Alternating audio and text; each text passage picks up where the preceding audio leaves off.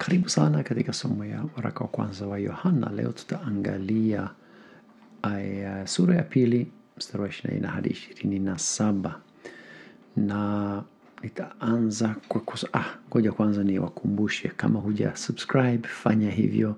Kama unapenda mafundisho onyesha kwa thumbs up. Ukitaka taarifa kila wakati tunapotoa eh, video unabonyeza ile kengele hapo, unaipata hiyo. Natoa comments zako pia na mawazo yako juu ya mafundisho tunayoyatoa, hiyo tunaifurahia pia. Okay, tuende tukaanze kusoma hiyo sehemu. Inasema hivi: nini basi hilo mlilolisikia tangu mwanzo na likae ndani yenu. Ikiwa hilo mlilolisikia tangu mwanzo linakaa ndani yenu, nini nani mtakaa ndani ya mwana na ndani ya Baba. Na hii ndio ahadi aliyotuahidia, yaani uzima wa milele. Nimewaandikieni mambo hayo kuhusu wale wanaotaka kuwapotosha ninyi, na ndio maana Yohana anaandika kwa tahadharisha na kuwalinda kwa wale ambayo wanaleta au wanajaribu kuwapotosha. Alafu anasema hivi, lakini kwa upande wenu ninyi, Kristo aliwatia mafuta kwa roho yake, na kama roho huyu akiendelea kukaa ndani yenu, hamhitaji kufundishwa na mtu yoyote, maana yeye anawafundisheni kila kitu, na mafundisho yake ni ya kweli, si ya uongo. Basi shikeni mafundisho ya huyu Roho na kubaki katika muungano na Kristo. Okay, pima mafundisho kwa yale ya mwanzo. Hiyo ni kitu ambayo tunahitaji kufanya, kupima kila fundisho kwa yale waliopewa na wainjilisti wa mwanzo. Uh, kwao walimu wa kwanza si maandiko ya Biblia hasa Agano Jipya, kwa sababu wao walifundishwa na wale ambayo waliandika hayo maandiko ambayo sisi sasa hivi tunatumia na tunayasoma. Lakini mara nyingi hao watu ambayo wanaandikiwa hayo mabarua, wao hawakuwa na Agano Jipya, ilikuwa bado haija kulikuwepo vibarua barua au maandiko madogo madogo, lakini sio kwamba ilikuwa imekusanywa kama Agano Jipya wakati huo. Hii ilikuja katika historia baadaye.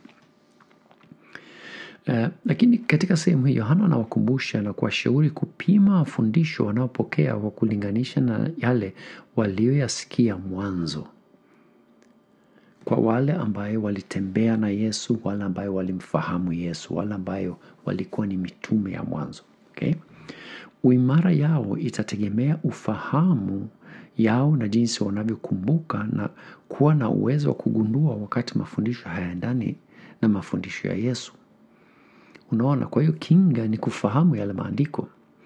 Injili tangu mwanzo baada ya Yesu kupaa imehubiriwa na watu, imekuwa ni hivyo tangu Yesu alipoondoka, imehubiriwa na watu. Ilianza na mitume, ilianza na wale watu ambayo leo walituachia maandiko ambayo tunaita ni Agano Jipya, na watu wenye Roho wa Mungu wanaongozwa na Roho wa Mungu, mafundisho yao yanaendana na maandiko na pia mafundisho ya Yesu. Kwa hiyo tunaposikia mafundisho tunayapima kwa maandiko ya Agano Jipya. Unaona, na, maandiko ya Agano Jipya yanakubaliana na Agano la Kale. Kwa hiyo tunatumia Agano la Kale pia, lakini tunapofundisha juu ya Ukristo tunaangalia Agano Jipya pale wanatufafanulia vipi, na hiyo ndio inakuwa inatuongoza katika kujua kama ni mafundisho yaliyo okay au kama sio. Wapo pia walimu sasa ambayo walianza kujitokeza hata wakati huo mwanzo wa Ukristo, ambayo wanaleta mafunuo mapya, mafunuo ambayo yako tofauti na yale mafundisho ya asili. Ni mafundisho kwetu, ni mafundisho yanakwenda tofauti na Biblia. Kwao ilikuwa ni mafundisho ambayo walikuwa wamesikia kwa mitume na wale walimu wa mwanzo. Unaona, kwa hiyo sisi ni rahisi zaidi, kwa sababu tunayo maandiko ya kuweza kuendea na kuangalia. Kwao ilibidi kukumbuka mahubiri ya jamaa, lakini hao ambayo wanaleta mafundisho tofauti na ya maandiko, si Roho wa Mungu inayowaongoza, ni roho inayompinga Kristo, ni roho wa mpinga Kristo. Leo duniani kuna walimu wengi sana na wahubiri wengi wa namna hiyo, watu ambayo wanapinga Ukristo. Kuna kitu tunaita e, injili ya mafanikio. Kwamba unapokuwa Mkristo lazima ionekane katika mafanikio ya maisha yako, lazima upate fedha. Wanaanza kukutangazia, bwana, wewe tu utapata gari, utapata hiki, utapata hiki. Ah, Huu si Ukristo, huu si Ukristo. Naenda kwenye Biblia, angalia mitume waliishi wali, wali vipi. Wewe walipigwa, walipigwa mawe, walifungwa, wengine waliuawa, karibu wote waliuawa kati ya mitume. Tukienda kwenye manabii ya Biblia, tabu tupu.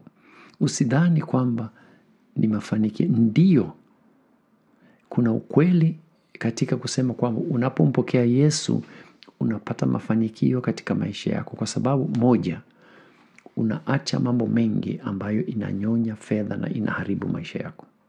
Kwa hiyo na Mungu anakubariki, hiyo ipo kabisa. Lakini injili ambayo ina, unaifuata kwa sababu ya mafanikio, hiyo siyo injili ya Mungu wala haina uhusiano na, na Biblia. e, kuna wengine wanahubiri kwamba mapenzi ya wenye jinsia moja ni sawa. Hiyo Biblia pia inakataa. Hao ni wapinga wa Kristo. e, kuna wengine wanasema kila dini ni, ni njia halali kwa Mungu. Ndani ya makani, hayo yote nayotaja yamo ndani ya makanisa. au pia wanapinga Kristo. Wanadai mafunuo mapya na utume wa uongo na kweli. Ninawakuta wengi sana. Mtume fulani, sijui nabii fulani, watu wengi. Mahubiri sijui kwa nini wanataka kujiwekea nembo za namna hiyo au vyeo vya namna hiyo. Ni kutafuta ukubwa, ni kutafuta umaarufu. Haiendani na Biblia. Jamani, jamani, jihadhari na watu kama hao. Eh, lakini mtoto wa Mungu anayekuwa na msingi wake katika Biblia anawagundua na hatisiki. Asiye na msingi ni rahisi sana kuwafuata, kuwasikiliza na kuvutiwa nao, kwa sababu wanatoa wana, wanatoa ahadi nyingi, na ukiwaangalia mara nyingi wao wana magari, wao wana fedha, wao wana mambo mengi sana, lakini ni kwa sababu ya sadaka zako.